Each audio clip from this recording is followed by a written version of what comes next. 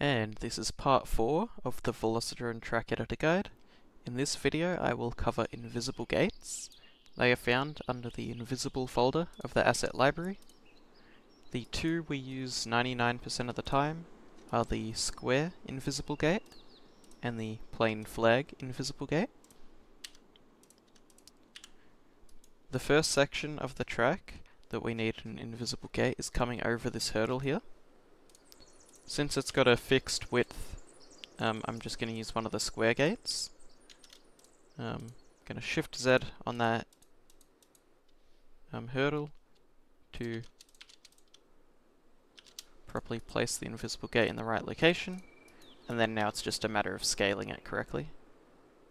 So, I think something like this seems pretty reasonable.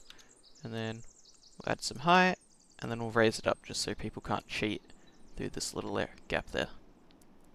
Um, a little higher seems sensible. Awesome, okay that one's done.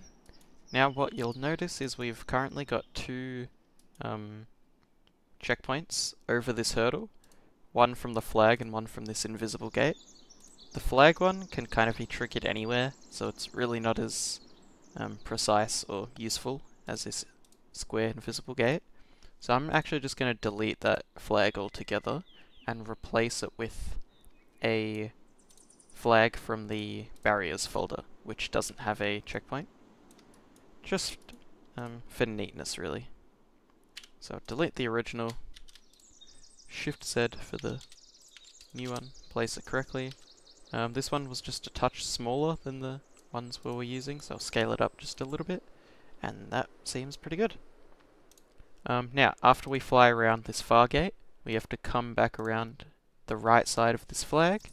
So this is where I will use one of the flag um, invisible gates. Shift Z on the cone, like usual.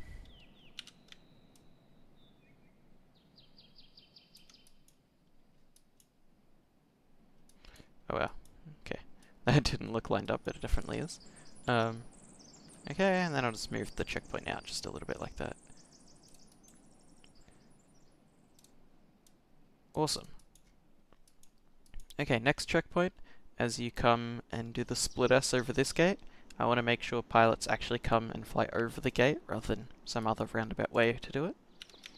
So we'll place a backwards facing square gate trigger right on top of the gate.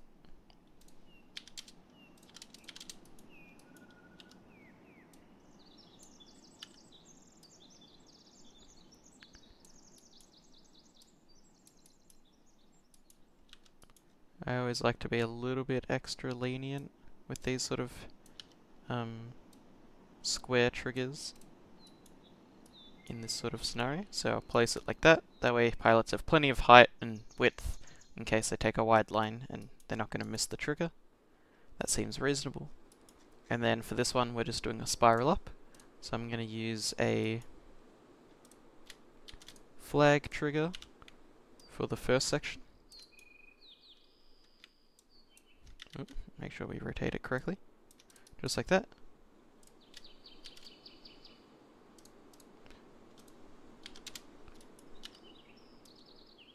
I'd say that looks pretty good. And then a square trigger, just to round it out as you go over the top.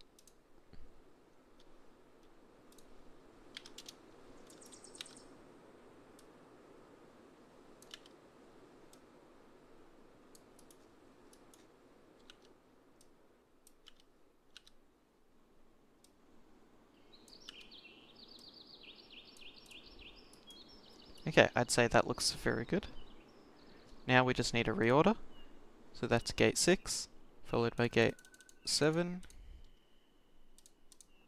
8, 9, 10, 11. Ooh, did I miss one? Alright, 12, 13, 14, and the square trigger. Oh, if I can select it, becomes 15, and that should be done. So 16, 17, 18. Okay, so that's how to use invisible gates in Velocidrone. I'll see you guys in the next video.